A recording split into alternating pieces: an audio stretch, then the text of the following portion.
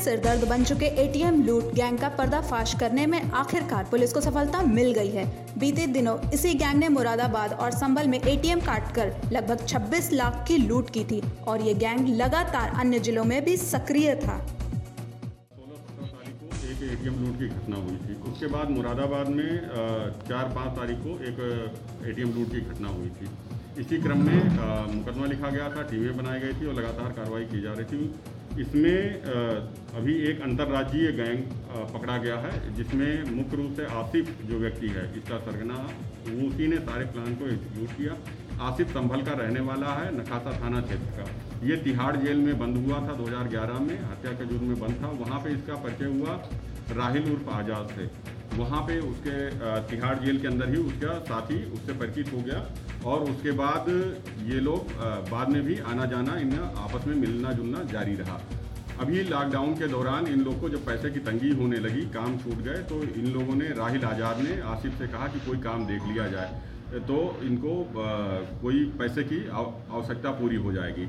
आसिफ का एक मित्र है, इशरत, जो बदायूं का रहने वाला है, उससे भी इन्होंने चर्चा की। तो इशरत ने बताया कि उनके कांटेक्ट में एक शाहरुख नाम का लड़का है, जो एटीएम काटता है, बहुत बढ़िया एटीएम काट लेता है। तो उसको मिल करके इन लोगों ने राहिल आज़ाद, आसिफ, इशरत, शाहरुख, इन सबने मिल करके एक प्लान बनाया और उस 10-12 दिन पहले, घटना संभल में करने से दस बारह दिन पहले वो लोग संभल में आए और उसके बाद शाहरुख ने राहिल आज़ाद को, जो डाई बनाने का काम करता है और दसवीं तक पढ़ा हुआ व्यक्ति है।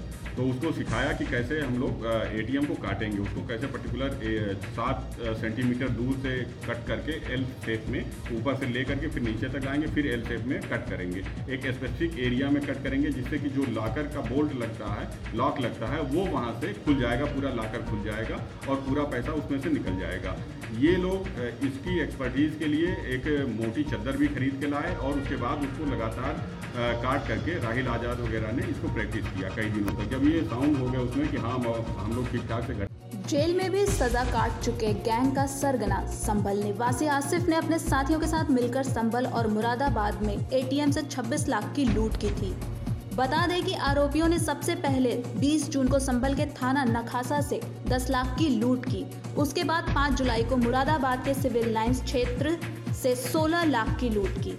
इससे पहले गैंग का सरगना आसिफ 2011 में हत्या के आरोप में तिहाड़ जेल भी जा चुका है। वजह से अगला प्लान बनाया कि अब इस बार हम लोग कई एटीएम में टारगेट करेंगे काटने का। उसके 10-12 दिन बाद इन लोगों ने ये लोग पुनः इकट्ठा हुए। वहीं जोया में जो बंद पड़ी फैक्ट्री थी, वहाँ पे इकट्ठा हुए, जिसमें आसिफ, शाहरुख, इशरत और ये राहिल, रिजवान शौकीन और सानू ये सब इकट्ठा हुए वहाँ पे। वहाँ से फिर ये लोग संभल आए। संभल में उन्होंने रेकी की एटीएम की मुरादाबाद में एटीएम की रेकी की और रामपुर में भी एटीएम की रेकी की। पूरे एरिया में ये लोग शाम तक घूमते रहे और उसके बाद ये तय किया इन लोगों ने कि जो अ, इशरत और शाहरुख हैं। ये संभल में अब एटीएम काटेंगे वहाँ जाएँगे और जो बाकी चार लोग हैं, वो मुरादाबाद में काटेंगे और काटने के बाद आ करके इन लोग, इनको ज्वाइन करेंगे। इशरत और शाहरुख को भी ज्वाइन करेंगे ये लोग। तब तक ये दूसरे एटीएम की रेकी करके उसके काटने की तैयारी करके रखेंगे। इन बिटवीन शाहरुख और इशरत उस दिन पकड़ गए। पुलिस, संभल पुलिस के द्वारा पकड़े गए और मुठभेड़ में उनकी गिरफ्तारी हुई। बाकी बचे हुए लोग जो मुरादाबाद में थे आसिफ, रिजवान, शौकीन सानू, राहिल आज़ाद। इन लोगों ने वहाँ पे एटीएम काटा जो सिविल लाइन, आसियाना कॉलोनी काट रोड, मुरादाबाद में एटीएम था। उसको वहाँ पे काटा। उसमें आज़ाद, शौकीन, रिजवान, ये सब वहाँ पे इकट्ठा थे। इसमें जो रिजवान है, रिजवान खान जो है, ये लंबा तगड़ा आदमी है। ये बाहर खड़ा रहा और अंदर शौकीन नहीं अंदर राहिल उर्फ़ आज़ाद अंदर राहिल उर्फ़ आज़ाद जो है वो गया। आ, वहाँ जा करके उसने एटीएम को काटा।